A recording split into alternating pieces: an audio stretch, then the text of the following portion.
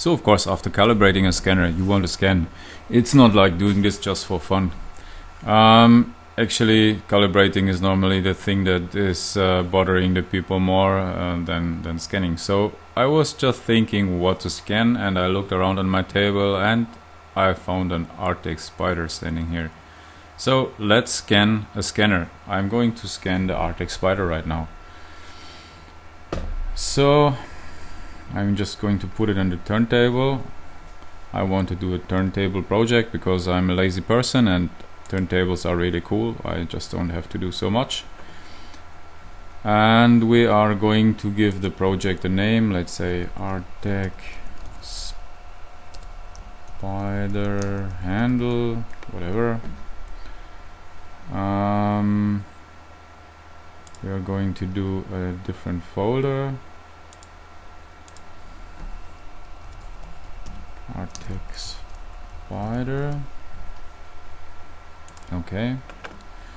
And remember this location. I just don't want to uh, select every time again uh, the area or the folder where I want to save the things. So that's absolutely fine. So simplification level means uh, that the scan will be simplified automatically. Uh, what I don't want in this case I want uh, to use maximum uh, resolution because as well the Neo is not a high resolution scanner so I don't have to care too much about numerous amount of data that he's creating. That's absolutely fine. A low camera resolution as well. No texture. In this case I don't need the colors of the spider outside because actually I, I'm not going to use it for any kind of the renderings or so. Um, project with markers mm, could be but it's not necessarily needed. When do I need project with markers. So if you will open up um, the Neo package, there is a bunch of markers to stick on the object, or you can stick them on the turntable as well. Uh, many times it helps, and, and it does not need it uh, to stick it on the object and remove them. Uh, if you have um, objects that have uh, a very, let's say, um, homogeneous curvature on the surface, like a ball, for example, or some sphere that is cylindrical or cylinder, whatever. Everything that have no curvature changes where two scan pictures cannot be aligned very easy for the scanner because both of them look similar to each other, they will need it. So in this case, the Artec Spider is not too complicated uh, but as well uh, it's not too homogeneous in its surface. So if you imagine in that field of view of the scan you will have uh, the pictures uh, they will be easy to be found to each other but they are not looking very similar. So you don't need markers for that in my opinion. Okay. So uh, axis uh, evaluation of the table. I see in my test so far that this brings you benefit in the alignment time. That means you will have the scans aligned to each other faster. So I will do it. I can do it over the plate. That means um, again maybe this is more needed for objects that have not so much curvature information. I was absolutely fine in objects like this that don't need markers to evaluate it by the axis by an object. That means there will be done some scans of the object and they will be compared and the software is calculating automatically where is the turning axis. And the further scans that you will do later on they will refer on that axis and um, will find very fast its position to each other. You will see that later on when the software is processing the data. So I will do it. I think it's good. So I will say continue. Okay we come to the scan menu. In this case um, I will check first uh, the rotary table increments. Or maybe even first it is better to think about the distance um, of this uh, scanner in this case to the scanner itself. No actually to the object to the scanner. That means the spider to the neo I just don't want to scan so many rounds so I'm going to go a bit further. I have no flexible scanning field in the neo so I'm just able to change the distance of the object. So in this case I'm going here a bit further back on the table I think. Maybe like this. If you are going too far away you might enter into problems with capturing because you are out of the field of view. You will get not so nice precise surfaces in this case but as well it is a problem that the object itself will go out of the scan areas from the cameras. It means if you are going to go very far away or so, the objects will actually drift to the borders or the uh, corners of the scan field what means they will not be captured anymore. So you have a limited scan field anyway, even if you go further away. You are right now reducing a little bit surface resolution because you are not fully using the scan area for the object. There is a lot of environment that have no information that I need uh, that will be captured as well. And uh, let's say the pixel per inch, if you want to speak in the photography language, on the object will go lower. That's a topic, but not actually for this scan. This is a, let's say, some freeform surfaces. I just want to get the shape and the neo, mm, let's say, resolution will be more than enough. No problem in this. I just want uh, not to spend too much time on scanning and scanning again. So I just want to capture as much as possible in, in that scan area and that's why I'm moving backwards. For me, resolution that means uh, small details in this case are not mattering at all. So I'm going to go back and um, turntable. Okay, we are going to perform a background scan. What is it good for actually? In many scanners, you scan something and you are scanning a lot of things that you don't want actually. Your table, your pens, whatever is on your desk or in your environment in this case, I think this is one of the cool features that um, Range Vision software is offering. You can scan the background. That means you are scanning what you don't want to appear in your scan, and it will be like a mathematically subtraction. These things that will be scanned right now are not going to be on your scan. Okay, but I see that picture is really dark, and um, as well, if I put back the scanner, I see the scanner is really dark and there is some gray areas. Hmm. I will have to brighten up the scanner. Why is it important? The cameras work with light and the capturing is working with light. It means if you are going dark capturing starts to get more complicated or impossible. So I'm just some person who's defending to scan on the brighter uh, edge of uh, what is possible because you are lighting up all the details. They will be more visible where there is light. They will be capturing. And on the other hand if I over brighten um, that is marked by the red areas the information is not usable. There is no mm, let's say surface information anymore captured because everything will be white for for the algorithm and that's why it's not going to capture in this in this case as well. So too dark is not good too bright is not good I have another problem here in the spider. I have some area that is darker, that is gray, and I have some area that is white. So for the for the gray area, this would be fine still. I can go much brighter. Still, I will have problems in that area. Right now, you see you're absolutely overexposed. That would be nonsense. So we are going down. Okay, so for me, that gray area looks right now reasonably regarding light, but the white area is actually over brightened. I can try to find a compromise it, do it with one exposure, but I don't have to actually. Even with the Neo, the range vision software is offering, offering you a cool feature that's second exposure. What does it mean? If you go here, okay, everything is like very dark.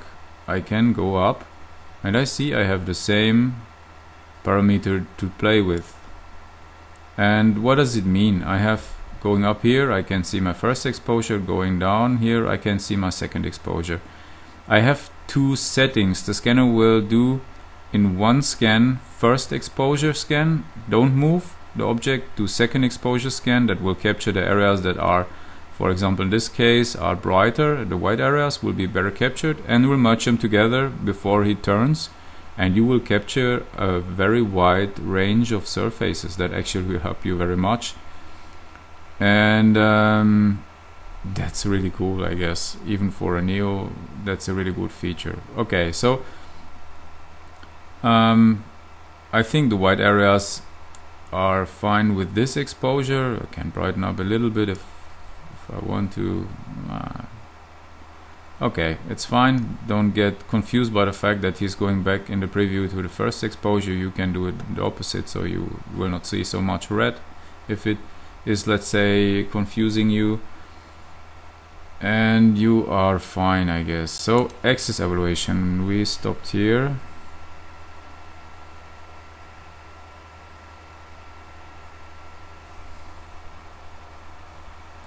He will do right now that what I explained before. He will do two scans and uh, will compare their position to each other and will calculate a rotary axis. So nothing more happening than a scan. These scans are not going to appear in your model tree later on. They are not part of your project. So don't care or bother too much about the result or whatever. It is just about positioning um, the object in the world coordinate system that means in the, numerical room actually the scanner is creating a room where there is nothing in the beginning and right now you start to put things inside that room. And uh, you right now giving the position of the area of interest for what you want to scan later on. Okay. Nothing really special you just have to wait. And I start scanning. And this is the really good thing about automatic turntable based scanning you are just clicking the button and uh, let the machine do your job actually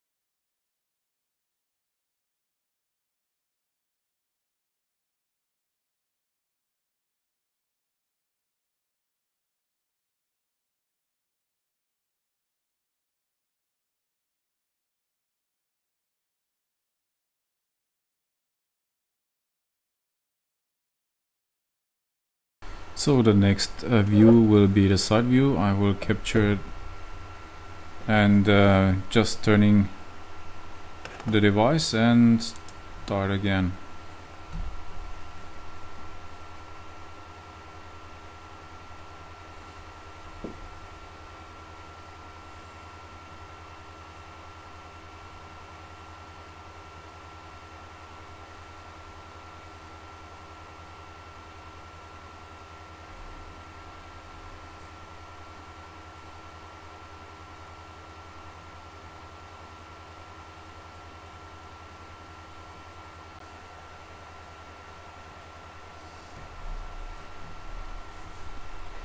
So it's done and you can see that the automatic registration is really working very good.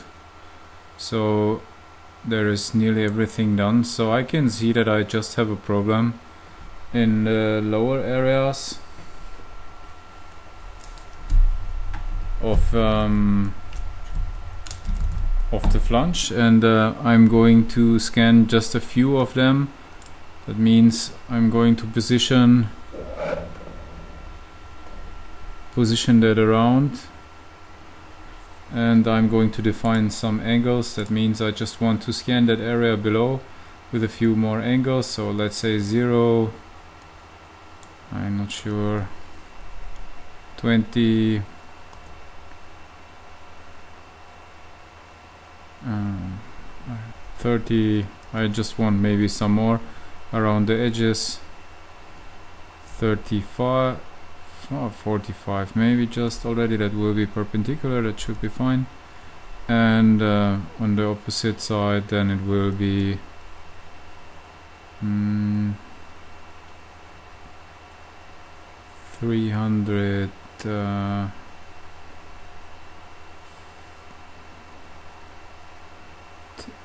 three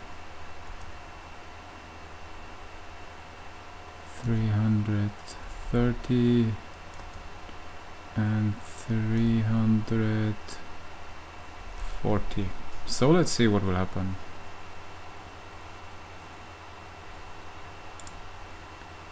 and start scanning.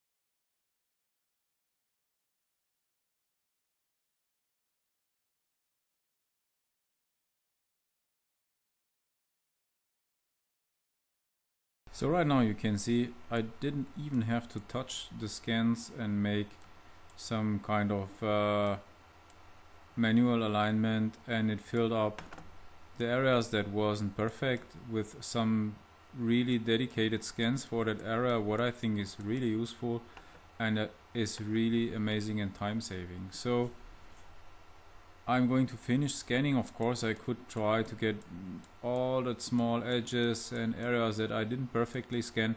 But for the demonstration I don't need it. And it's uh, let's say something I'm not going to use for uh, processing later on. So I, I think it's fine in this point.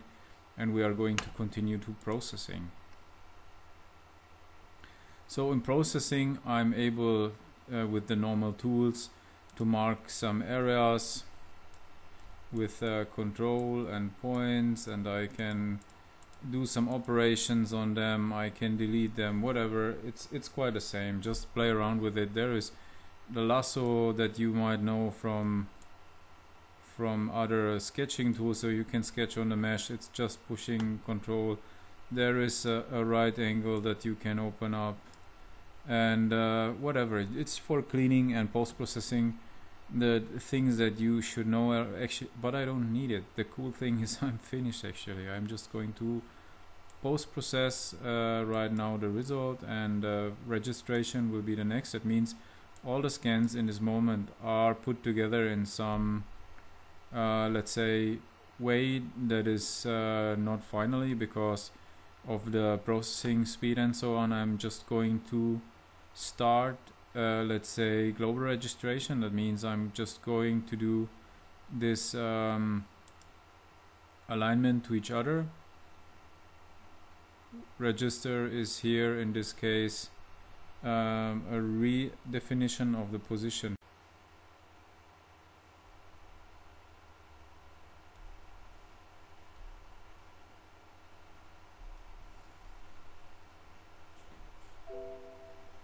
So right now all the scans are positioned to each other and there's let's say a deviation of 61 microns what is actually quite fine compared to the class that the scanner is uh, working in. And right now I'm able to create a watertight uh, model. Um, there is several options but on the Neo it makes no sense to speak about metrology. Um, this is in, in this case a, a classic uh, model that I will generate the mm, level of model resolution I will keep it in the standard because as I don't have very special needs I just going to apply um, the resolution that's absolutely fine in the presetting Um, I'm not going to remove small components in the first step just to see um, how it will look like.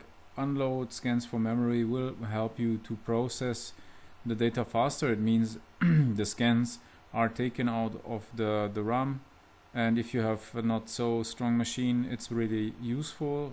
You will have to or the program will reload them. It will take some time afterwards if you need it.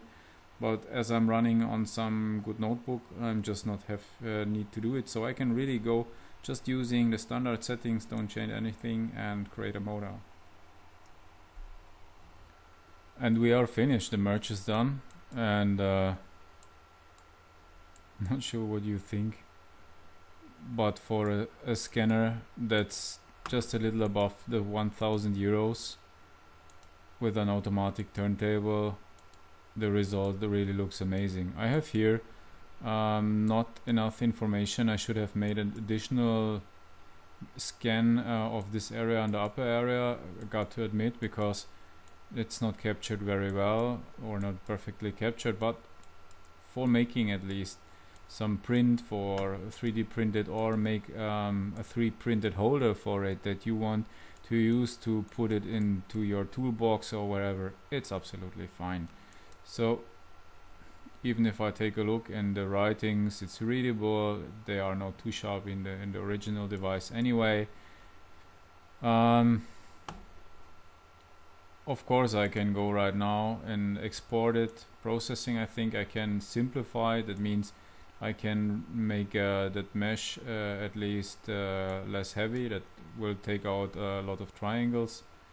I can do smoothing but for smoothing I have to mark some areas or it's recommendable. It means if I have some strange edges or so I can smoothen it that will be a rather radical change that I will cause right now but anyway it's just for showing you what is possible.